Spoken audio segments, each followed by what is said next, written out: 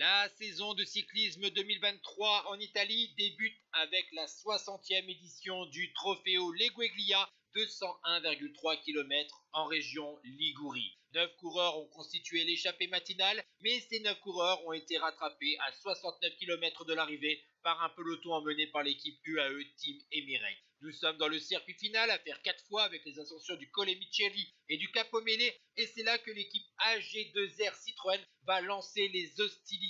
pour décanter la course.